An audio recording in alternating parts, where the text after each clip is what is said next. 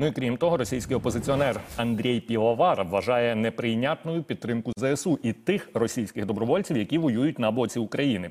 В інтерв'ю виданню Нова газета Європа він наголосив, що, попри все, він залишається російським політиком, тож не підтримуватиме тих людей, які зі зброєю в руках борються проти Росії, і додав, що росіяни, які погоджуються воювати проти України, нібито змушені це робити через страх або примус.